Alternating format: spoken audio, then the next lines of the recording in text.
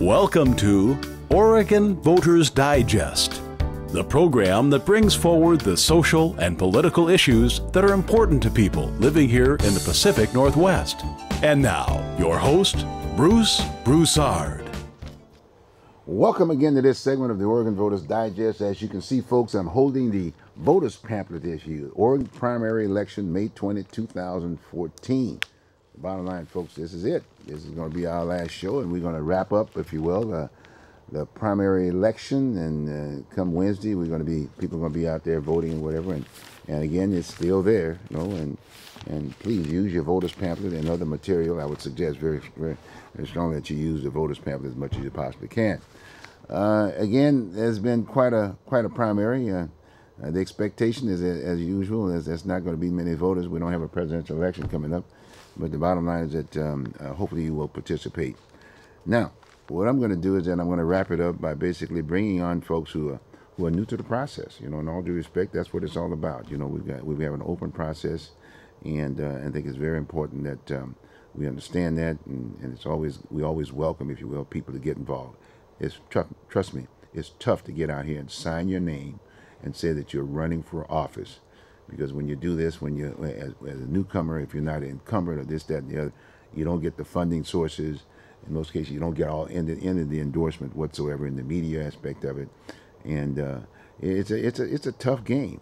Uh, you know, I might add that uh, from my experience and my exposure in, in, in uh, through the years, uh, it's the only time. It's the only time within uh, within the voter situation that you can lie if you want to, and then if you if if you uh, if you want to challenge the person uh, from the media standpoint, they'll say, "Well, give me an ad," and if you got the money for an ad, you can you can counter it, but otherwise you you can't. But my point is that um, uh, it's a very difficult situation. So what we're going to do to close out the voters pamphlet, uh, the voters, or, or, I'm sorry, the Oregon primary election, is that we're going to interview uh, several candidates uh, who have basically just gotten into uh, the um, the races and gotten into the process, and we're going to get a little feel, some feedback from each of them. Okay. Well, start, start. We're going to start out with uh, Jeremiah Johnson, who's running for Metro President, and Jeremiah is here with me and we're going to give him an opportunity to share with you one why he's running why he's running for office and uh, maybe hit some of the, the highlighted positions uh, in Metro. Okay, uh, the sitting the sitting incumbent uh, is Ted Hughes, right? Tom Tom Hughes. Ted. I don't get to Ted. It's Tom Hughes, and so so that's what so so so um, Jeremiah. Let's start off with initially why are you running? Well, I I chose to run back in 2010. Okay. I didn't see a lot of difference between Bob Stacey and Tom Hughes on a lot of their positions, and at the time, none of them were, neither of them were taking on the positions that I thought were more important to me that Metro should be taking on, and. Uh, when Tom Hughes won, it kind of solidified that decision for me because he was a backer of the CRC, which I was against. Okay, all right, good, good. Well, in fact, let's jump right up in there. You said he was a backup CRC. Yes, he, he's he's been uh, known as a supporter. In fact, that was the one issue that really kind of separated him from Bob Stacey On the other issues that they were both running on their platforms at the time, was that he was a major supporter of the CRC, and, and Bob Stacey was not. Mm-hmm.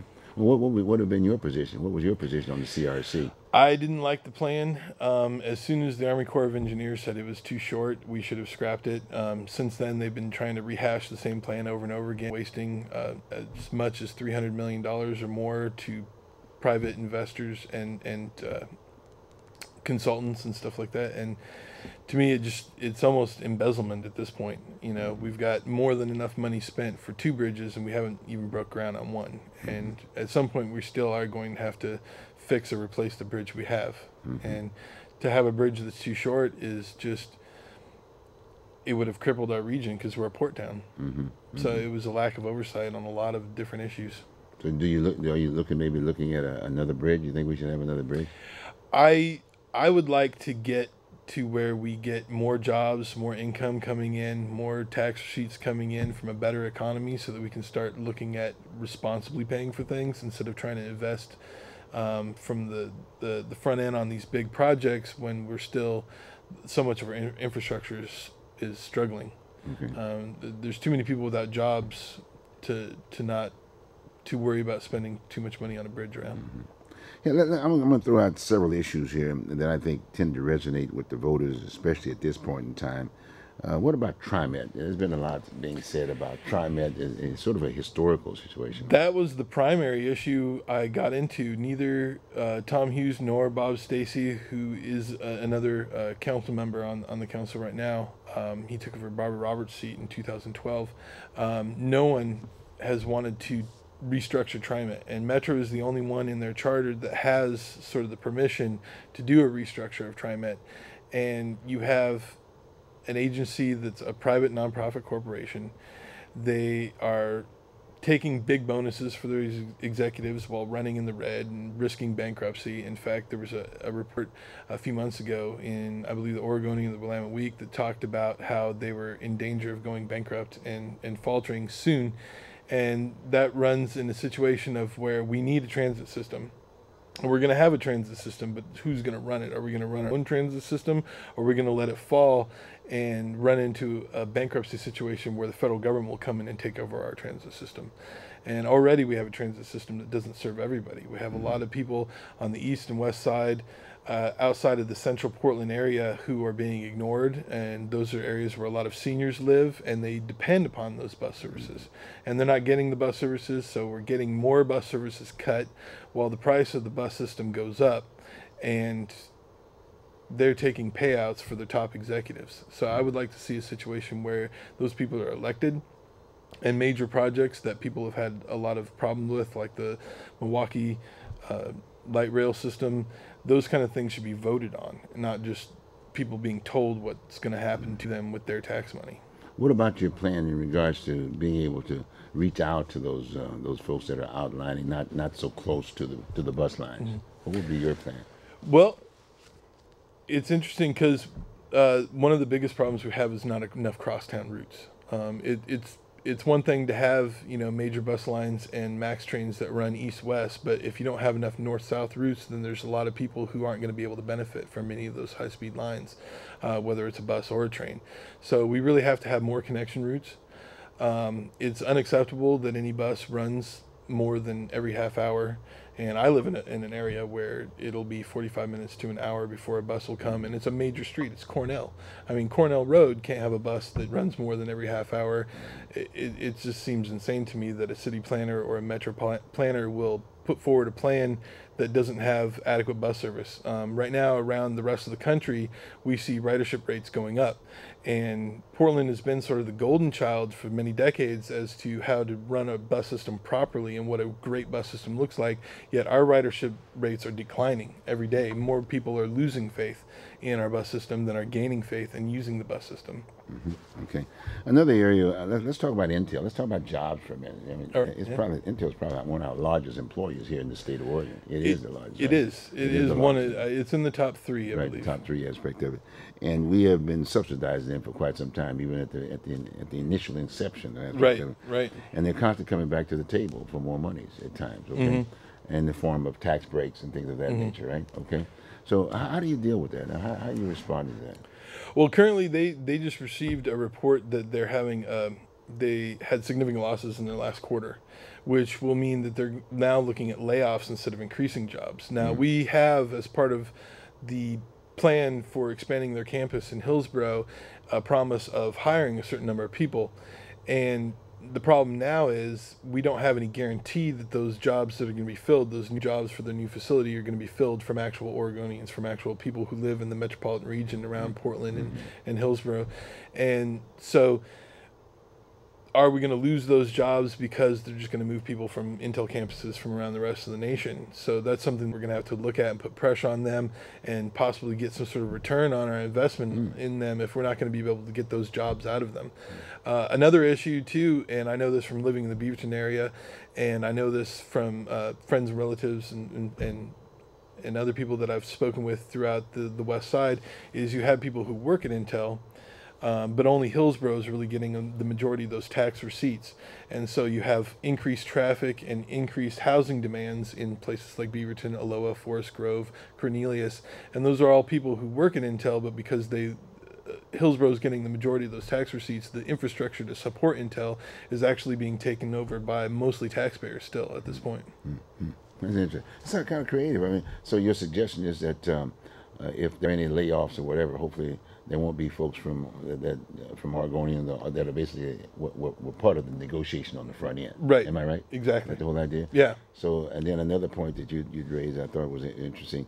So the other suggestion is that uh, any negotiation with any possibility of a, a business coming within the area they, part of that deal would be they'd have to fix those, those identify those jobs, at least a percentage of those jobs right. for the metropolitan area. Right, and if we didn't get those jobs, then whatever tax benefits, whatever um, cost benefits that we've given them, we would be able to get a return on that because the, the whole point of giving those uh, tax cuts and cost benefits towards them in building their infrastructure is that we would get the jobs that will lead to income that will lead to tax infrastructure for us through through through payroll taxes. So if we're not getting that, we're going to have to have some sort of return on our investment.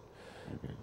So anyway, so the funding source on the front end mm-hmm. would be pretty well uh, standard. I mean, be stable, if you will. Yes. So it's 100 percent right off the bat. It's benefiting right. benefiting the voter, right? Hopefully. Okay. Yeah. Good. Good. Good.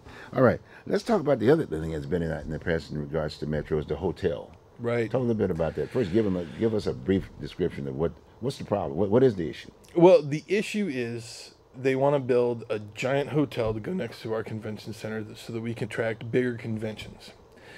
Ultimately, I don't have a problem with that, except that we already have a, a, saturation of hotels right around the convention center. We don't need one big major hotel. We actually have a lot of private hoteliers around the, the, the convention center right now that, at best, only have 50% residency rates and you know you can check that out yourself on expedia.com you just you can pick any day and you can see that there's plenty of open rooms so if we build a big hotel like that and give them sort of subsidies to help them stay in business it's going to put a big crunch on on hoteliers that are local small businesses that are already here. Um, it's going to take away more residencies from them and more profits from them in directing to to that. And we've seen um, a lot of these big convention center hotels be built around the United States, and the success rate is not very high. Probably one in three actually make some sort of profit. The rest of them have all gone into bankruptcy. In fact, Vancouver, right across the river, uh, attempted to do a similar thing a few years ago, and it was a big disaster. Um, so we're banking on pipe dreams of getting like a, a NBA All Star show here but that's not guaranteed. And there's so many other elements that go into big conventions like that. You know, who's going to pay for the increased police presence and overtime? Who's going to pay for all the cleanup? Who's going to pay for all these things? It's not just a big hotel that we need to look at for bigger conventions.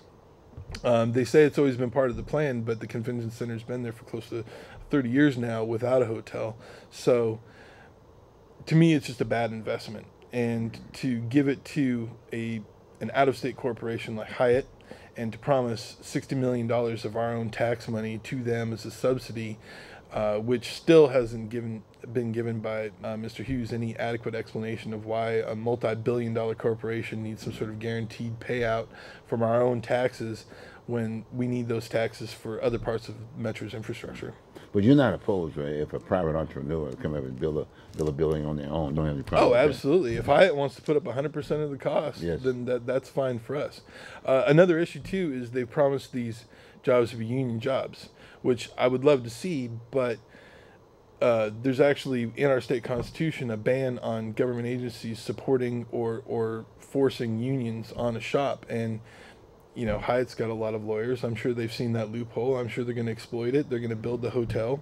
Um, I've talked to union members. A lot of them are concerned about it. Some are saying, well, let, us let the courts decide. I've seen a lot of court decisions come through not in necessarily the, the common people's favor recently. So I'm not uh, I would like to take care of the situation up front mm-hmm. rather than letting things sort of fall to the courts and, and hoping that they make the best decision for the average everyday person who's going to be getting those jobs. Mm-hmm. You know, you know, I think about the another thing that comes up when I think about the elephants. You know, down at the mm-hmm. Metro Zoo aspect of it, in terms of who's responsible for that situation. I, I'm also thinking uh, about the situation with reference to the vets. Yeah. You know, and, uh, and how the secretary of, of, of the uh, of the of the VA is taking right. the hit for the issues that are be, that, that, that's being discussed about the vets, some of them dying because of the lack of being able to get, get treated, and this, that, and the other. But now here's the secretary taking the hit, and they're asking him to resign.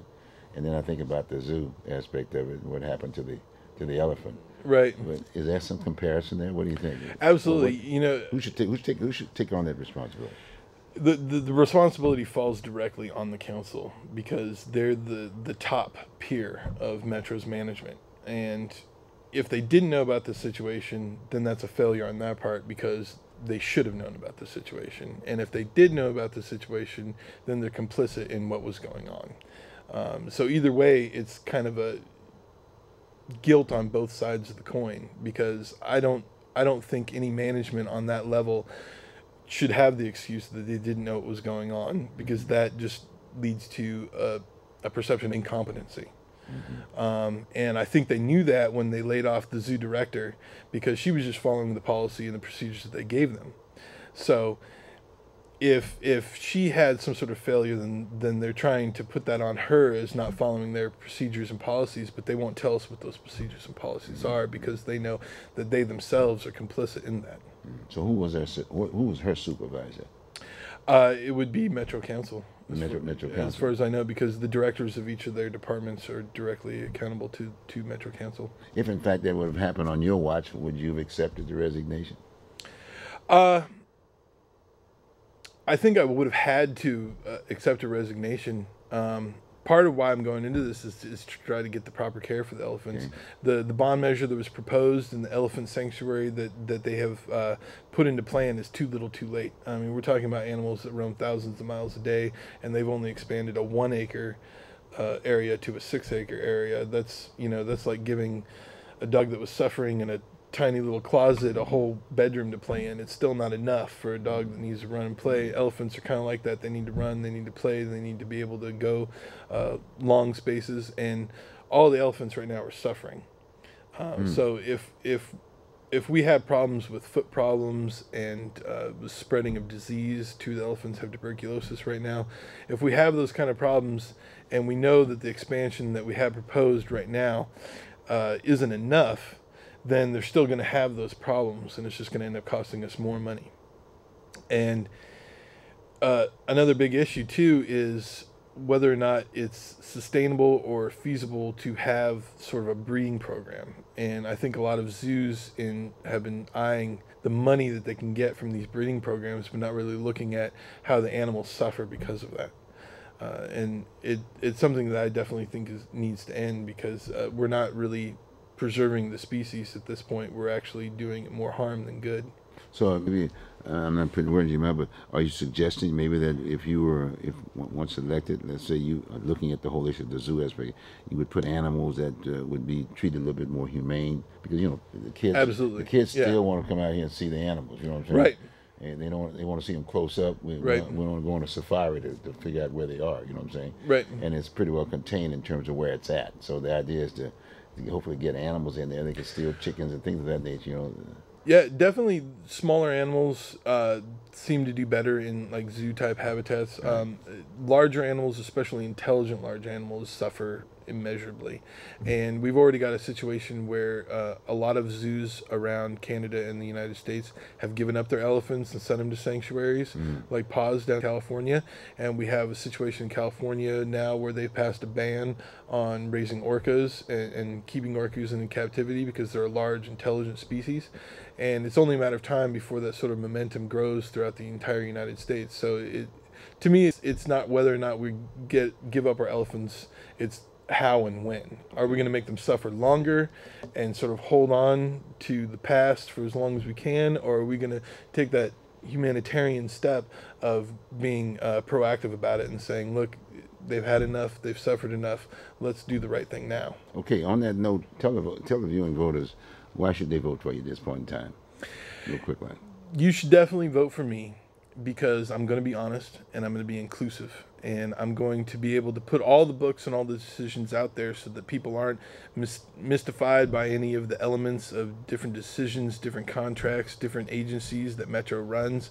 Uh, it's it's a tragedy right now that we have a voting district in Metro of about 1.5 million voters, and that's almost as big as our senator and our governor.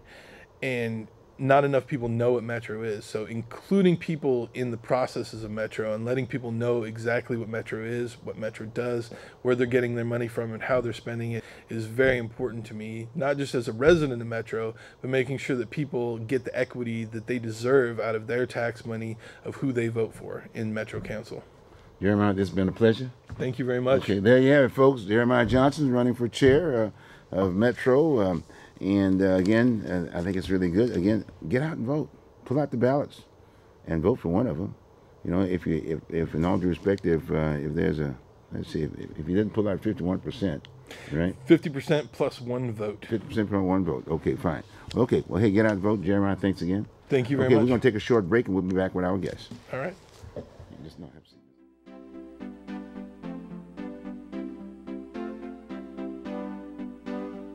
You are watching Oregon Voters Digest. This program can be seen again on these channels on these dates and times. Tell a friend.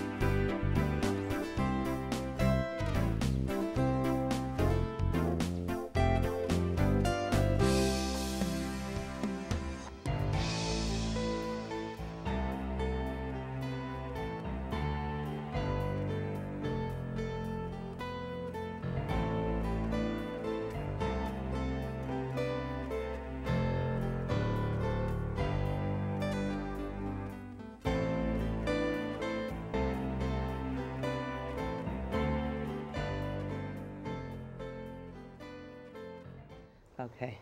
Welcome back, folks. Again, um, I'm Bruce Broussard, your host here at the Oregon Voters Digest. Um, again, we've got um, we've got two candidates uh, we're going to be interviewing at this point in time.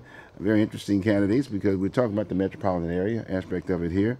Uh, we just recently uh, we we interviewed, if you will, the um, um, the mo- mo- uh, metro area with, with Jeremiah and whatever.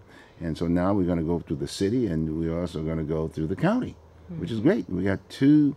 Uh, I wouldn't say up and coming. Uh, these, these are already they're already here.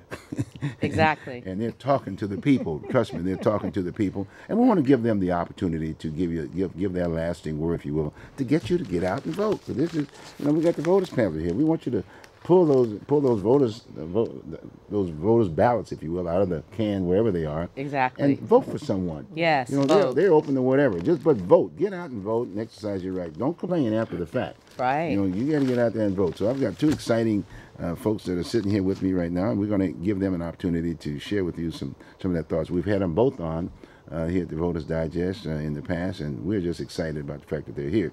And another reason I might want to share, just as a little small commentary aspect of it, if you notice from the media standpoint, sometimes you got to look be, beyond that. Take the voters pamphlet, look at what these folks are. And, uh, and if necessary, you can give them a call because they'll give you a number and you can give them a call and talk to them over the phone and whatever.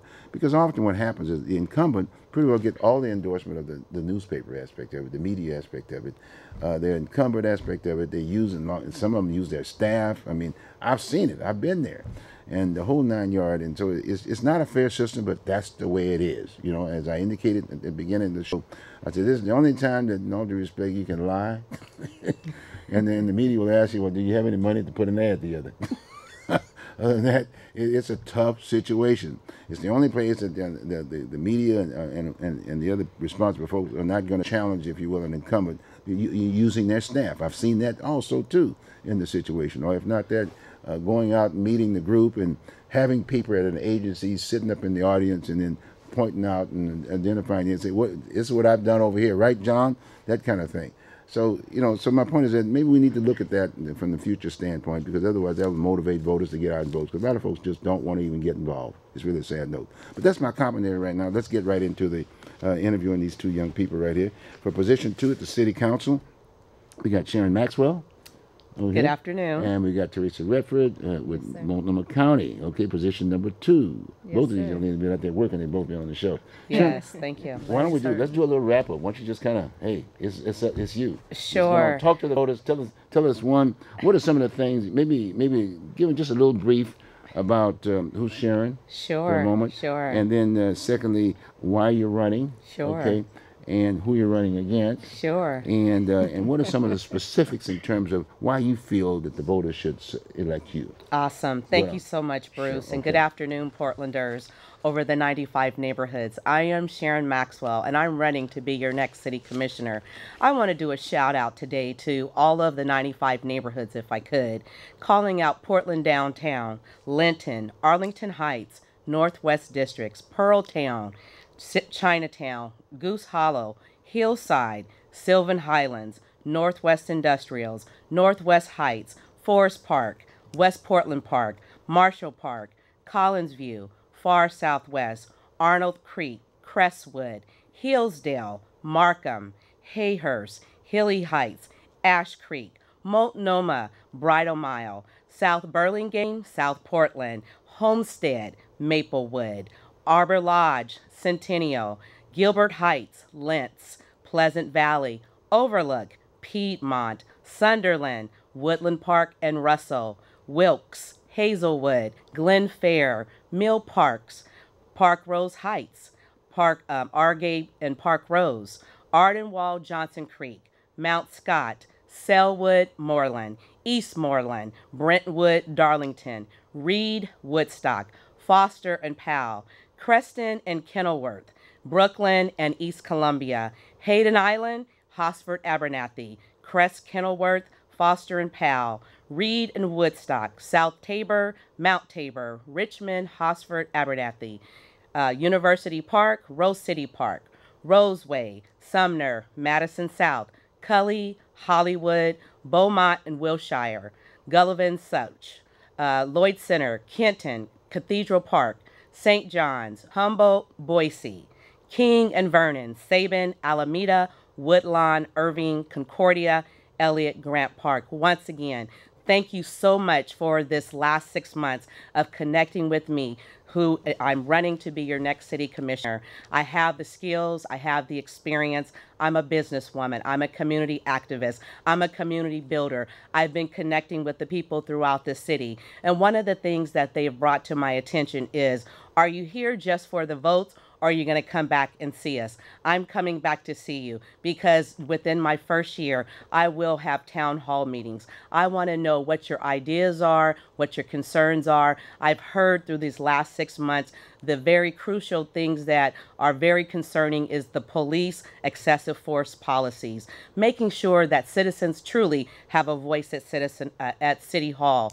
It's time for change in the city of Portland to restore oversight, transparency, integrity, and accountability. I want to make sure that as your next city commissioner, your voice is being represented as a public servant. That's who I am, Sharon Maxwell, a public servant running to make sure that your voice is heard and listened to. And I'm here to listen. I've heard you, I've listened, and I'm listening, and I will continue to listen throughout my four years. I'm asking for your votes and I'm asking for four years to turn the city around, to work with the mayor, with the business community, with the citizens, with our young people, to be that role model, to be able to show them that there is something different about what this city is all about. It's time to connect citizens to City Hall, the People's Hall. Sharon Maxwell, Sharon Maxwell for Portland.org. You can reach me at 503 419 7492. And I'm looking forward to working with um, all of the commissioners, with the county, with everyone throughout the 95 neighborhoods as we go into these next four years. Thank you. Okay, Sharon, that, that's hey, that's sound, boy. I, I tell you, you covered them all. Yes, I you did. cored them all. That, Yes, that's, yes. that's the first here. That's That's that's, that's, a good. 95. That's. That's, a call out and a shout out. That's a good. I like that. I like Yes. that. Well, hey, let's let's go with this, Commissioner. Okay. I take it there's a, the, the incumbent who's sitting there right now is um is just happens to have the Water Bureau. yes, he does. Okay, so now how would you handle? First off, let's let's tell the viewing audience. One, what, what's the what's the problem? What's the issue? And then talk about then what, what, what's your solution? Sure. So the issue here is oversight, trust, and accountability. As part of my platform, I'm bringing forth a shared uh, uh, single member district. Single member districts. We elect city commissioners per districts, just like the county commissioners are elected per districts. That way, you have an accountability with the commissioner, with the citizens in their district. They have oversight and a real connection on infrastructure, capital development projects, what's really going on, a pulse. And I just don't believe at this time that the commissioner at hand, Nick Fish, has a pulse. He's been very disconnected. Nick has been all about Nick during these last six years, and he doesn't recognize that people's voice are important. He's been very dismissive as I talk to people in Northwest Portland, Southwest Portland, Southeast Portland, when they push through the uh, parking meters at Washington Park. So now all citizens who visit Washington Park are going to have to pay a parking fee when we just passed a $500 million bond to be able to rehabilitate and renovate the zoo. Why would citizens have to uh, pay for parking up there at Washington Park and the zoo? So Mr. Fish is not connected to listening to the voice of citizens. If we were kind enough and generous enough to uh, pass that bond and we're paying out of our hard uh, work capital, you know, in our jobs, well, why would we have to continue to give more and more? And so it's just really time to recognize that citizens' voice matters, that it counts, and that you can't keep putting extra heavy burdens on people and expect them to keep coming out of their pockets. Well, there's another issue on the table. It's, it's called the water.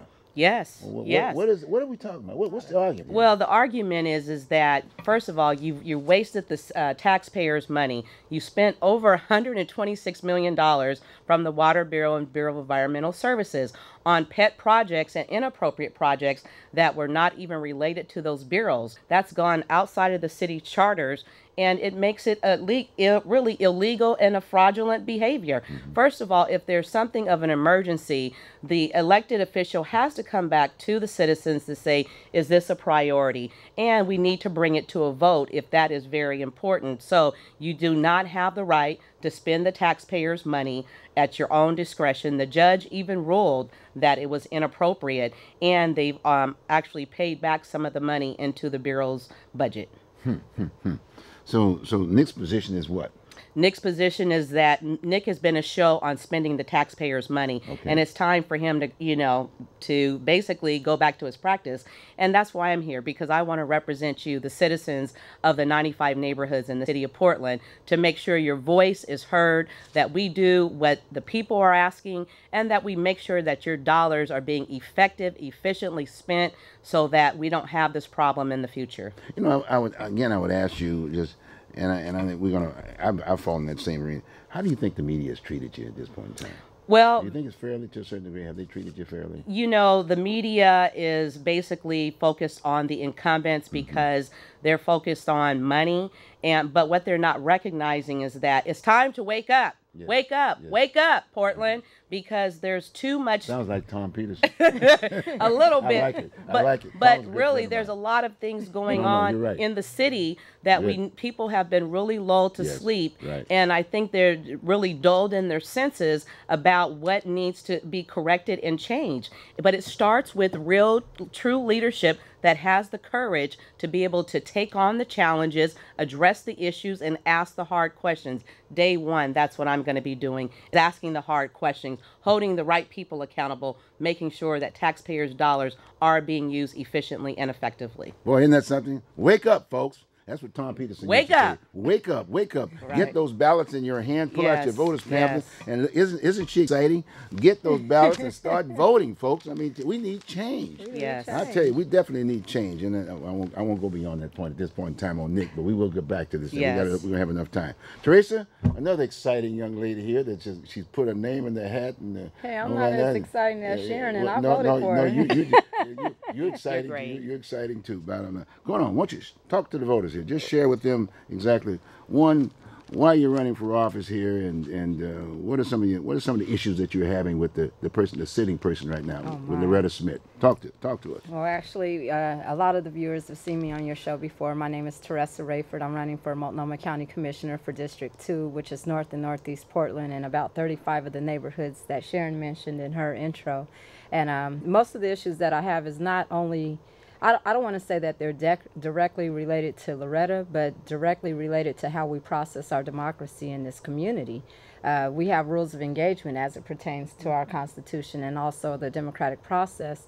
And what I'm seeing is that there's a lot of bias in how that is generated and how it's being distributed, and especially in this election here. And um, media is a big issue. You know, I, I believe that their endorsements are predetermined, and you can kind of see that when you go into the settings where you're being interviewed. Uh, I looked at the Willamette Weekly, and they had said, you know, it looks like Teresa was in there sleep, and you were sitting there I was with right me. there. You were and, not uh, sleeping. I, I wasn't sleeping. I was answering the questions as they brought them to me, but I didn't want to have. Uh, uh, I didn't want to be Yeah, entertaining right, right. in a situation where we're talking about real people's lives because I'm not in this for a game or for you know to, to promote my resume or to build my skill set. I'm qualified based on the constitutional rules. That's why you want to uh, serve in public office.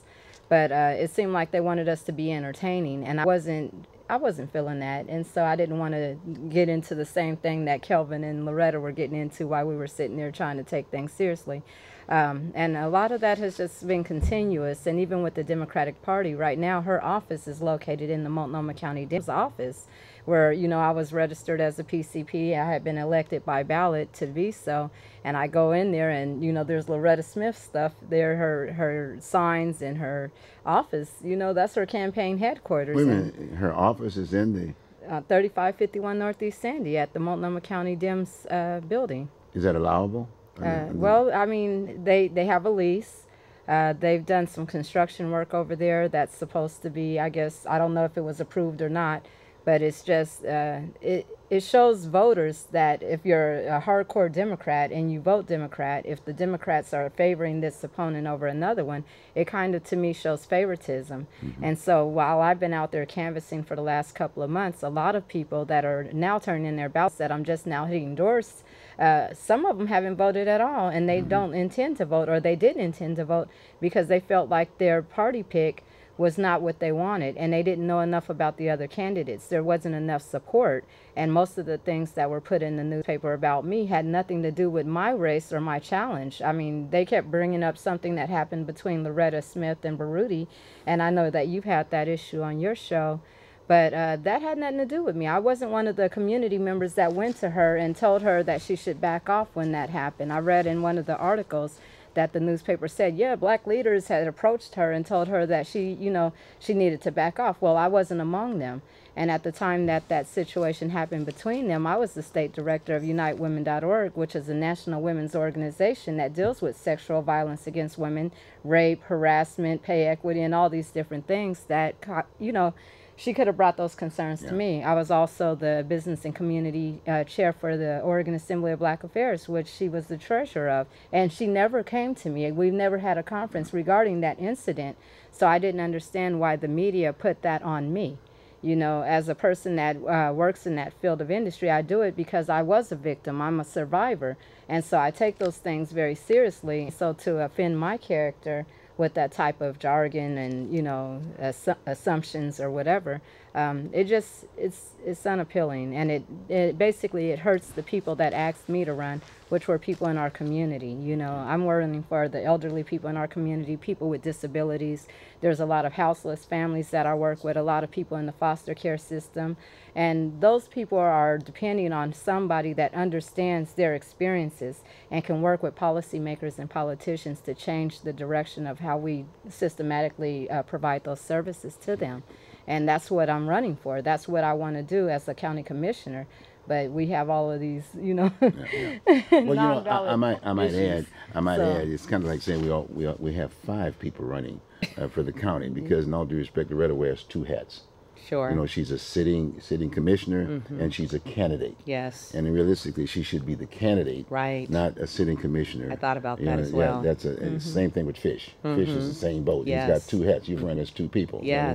Yes. So so that's that is an issue, and I think they need to understand about dotting the i's and crossing the t's. Right. But unfortunately, the media reacts to the sitting commissioners or the city council person. You got my Mm-hmm. Point. sure. As opposed to addressing the issues Yes. that they had talked about Exactly. while he was sitting in office or while she was sitting in office. They don't. They tend to refrain from that. Yes. But give her the opportunity, if you will, because you got all the other entities that are supporting this, that, and the other. Again, are responding to their positions. Mm-hmm. Because the unions, on the other hand, if they were dealing with it from the standpoint of what are the issues of today, Right. they would be a little bit more open-minded and listen to what's being said by the folks. This is not about a personal attack uh, on the on the on the position. Right. This is about the issues of today Yes. and kind of Everyday like- people. That's right.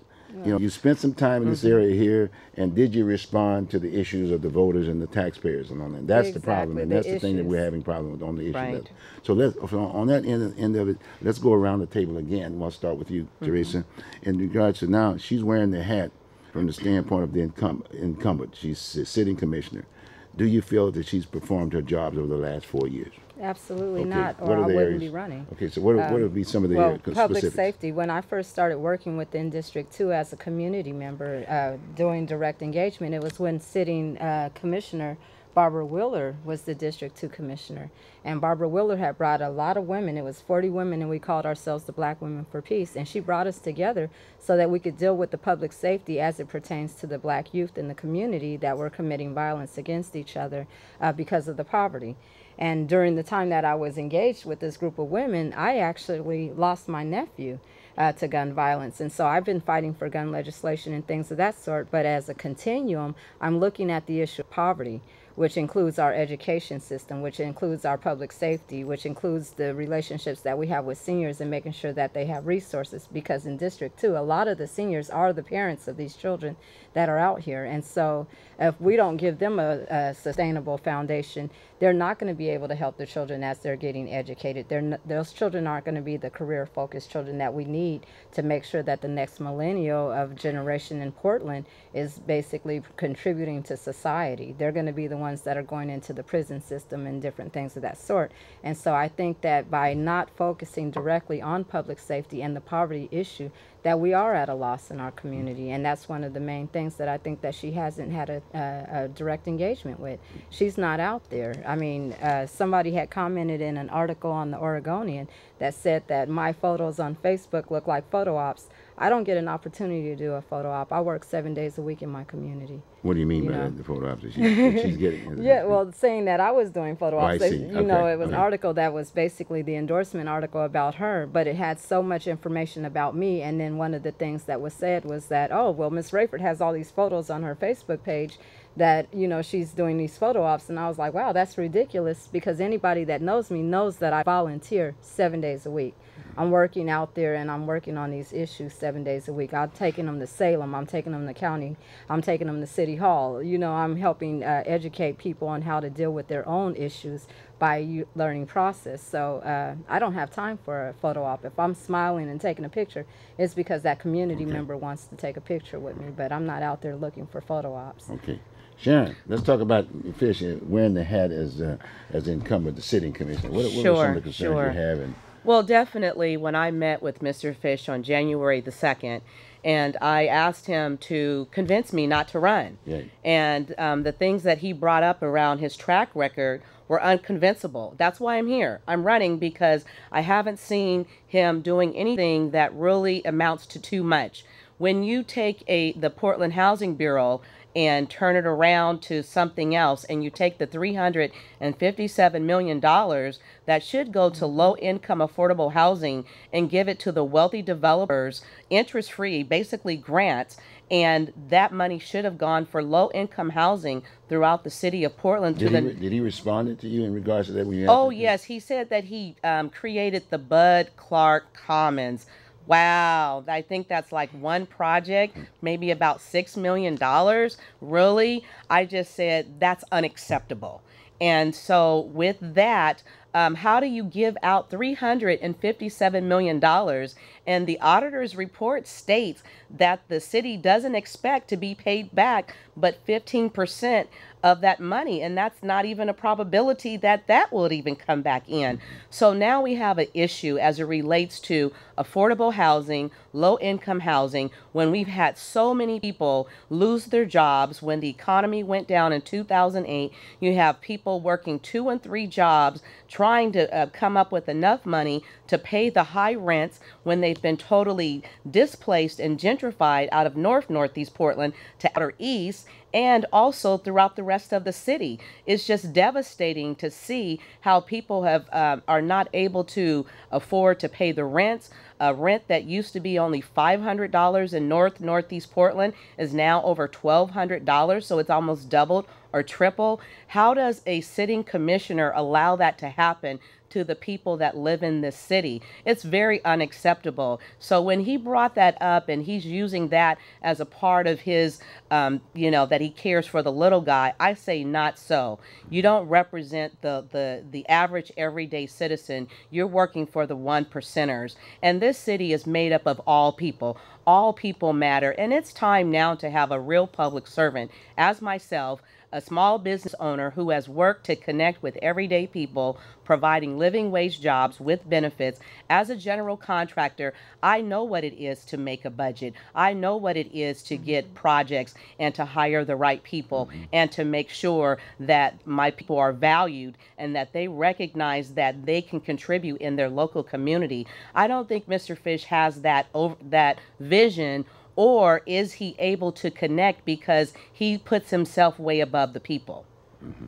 You know, another area that I, I want to talk about is that, as you know, the city of Portland pretty well incorporates most of most of the district number two. In fact, district number two is the largest. Mm-hmm. Yes. Uh, money is always an issue. Yes, it and is. That's been one of my concerns from the standpoint of saying, "Show me the money." Right. And a single system district that that would definitely set it in place. Yes, right? the single uh, member districts would allow a better accountability. Yes, right. It would allow an alignment to make sure that what the county is doing and what other regional partners, when we're looking for how the money is being used, then we can work with our county partner, our regional par- uh, partners when it comes to making sure that the dollars are being used effectively and efficiently. It makes no sense that we've had billions and billions of dollars come to this city to first of all, uh, renovate the blighted areas of the city. And that money has been diverted outside of those neighborhoods to other areas. Mm-hmm. And that's one of the reasons why we've seen the destruction and the devastation, devastation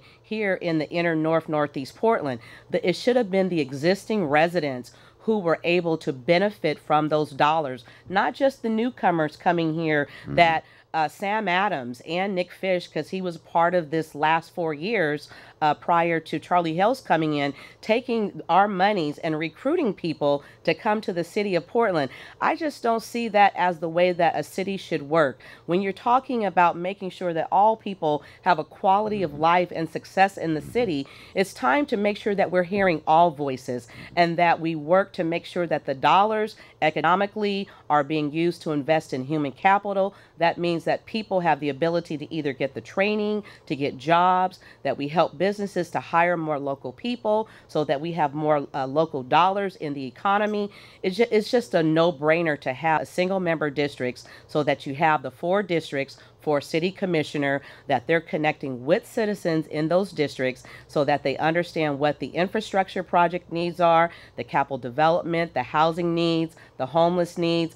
I mean, we could do so much more. And it's time for cor- correction right now. And the single member district will allow us to perform those audits and give citizens a better opportunity for input by having the town halls, by having more uh, community participation, and speaking to real issues that matter to people. Mm-hmm. You know, and uh, along that same, same line, I think it's very important that we need to have extend this uh, the, the, discussion, if you will. Oh yes. That's why we need a we need to get into the next rung and that it's not just quote just winner take all on the front end. Sure, you know I mean? sure. Uh, it's a very important piece. And what comes to mind is the whole issue with the housing thing. You know, I'm very familiar with Mr. Rudman.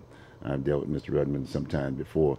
And when you start thinking about vouchers being issued, vouchers being issued outside of the city limits Right. to the Gresham areas and this, that, and the other. yes, you see what I'm saying? yes, And so it's kind of like saying, who's controlling the county? Exactly. Who's controlling the county? Exactly. The city is controlling the county. It's a big machine. Yes, yes. And that was another one of the triggers for me in running for office is because I was saying who is holding the city accountable? Who's holding the county accountable? If the people, if we, the citizens who uh, elect the elected officials, can't hold them accountable, then we have to rise up. And that's why Portlanders, uh, we need you to get those ballots Yes, out. We so. need you to pick up the voters' ballot uh, uh, pamphlet and take a look to see who the candidates are. I am Sharon Maxwell. I am a public servant. You can trust me as a business owner, as a mother, as someone who has built transient fences where the homeless have been there every morning when my crews have arrived there. I've seen people put out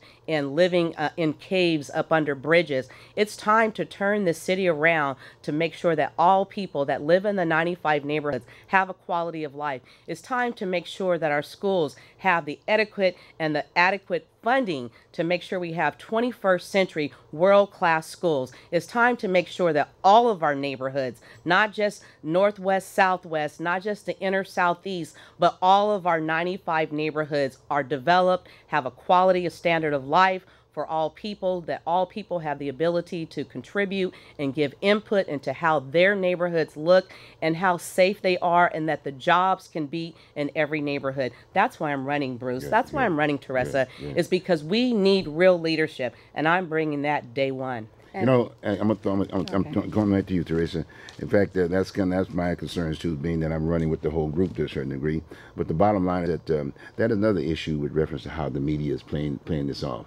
They always identify it as Northeast Portland. Yes. You know, this is not just a black district. No, No, it's not. You know, No. it's not just a black district, but, but the media pushes it that way. Yes, And I noticed that in- from a Loretta standpoint, the idea that she's going to she provided hundred jobs, if you will, to African Americans. Yes. Well, I mean that's that's an interesting Well, she said summer jobs, and she said that she provided them for the youth, and that's over the last four years. But at the same time, she's voted against making sure that they get STEM technology in programs like the Benson Tech program that they have over there that's teaching the children the science, technology, engineering, and math, teaching them how to build aircraft and automobiles, and they have a dental lab and all these things. They're voting against opportunities to get these children out of intergenerational poverty through apprenticeships and internships that pay 14 to 16 dollars an hour and take them into career fields that pay 60 to 80 thousand dollars a year. Mm-hmm. So if you're providing somebody with a summer job that's not even focused on the major that they're choosing in college which a lot of the students that i've seen i've seen at all the different places you know and i ask them hey what are you guys doing in here? And oh we're looking at computers today or we're playing with kids today. Well what are you doing in college? Well i want to be an engineer. Well how does that work with what you're doing here? And do you have any of that hands-on experience? And they don't we're just giving them jobs that are available through the relationships that are coming through the uh, resources that they're coming from, like the $1 million that they just provided or that she just asked for in the budget for SEI and for their wraparound it? I didn't services. get that. What was that Oh, again? well, you're running I against I her, didn't- Bruce. You I should know I what the didn't- I didn't, I didn't get that. I just, I just, I Well, you should know about the one million dollars The that $1 million. that she's asked for. Actually, yeah, to go To to, uh, to culturally specific and to children of color. And one of the things that I've said a lot is that we need to desegregate this system. If we keep focusing on the color of the people that we're serving and not the issues that they're dealing with, then we're going to miss a big issue, and that's uh, taking them out of the poverty. We're we're telling kids that they're disadvantaged simply because their skin is brown. And then we're serving the funding that we get for disadvantaged youth to children that are eligible to be in a program where a lot of the disadvantaged youth are not available to go. They're not qualified to be in those programs, but they're actually getting that money. And so we're, we're leaving a lot of people out because we're playing that race card. But are we getting the money? We're are not we- getting the we money. I mean, we were at the Two, Willamette Weekly. Twos? We were at the Willamette Weekly Yeah, interview, and I looked at that on the uh, video, and she said that 70% of the money that comes into Multnomah County is in Salem. And I'm trying to understand what does she mean by that? Well, that's true. the Well, you know, Yeah. I just really have to speak to this. Um, single member districts Yes. will allow us to really convene all of the players right. to the table to identify what their strengths are, where our weaknesses are, where the gaps are when it comes to nonprofit organizations, city services, county services. That's how you're, we're going to hold everyone accountable for all the billions of dollars that are at the county and coming through the city's coffers to make sure that all people, we first have to start with adults. making sure that parents have quality jobs and that they're able to role model and mentor their own children. Okay, the day is over to where we're just uh, sending a little bit of money here, $100,000 as a business owner.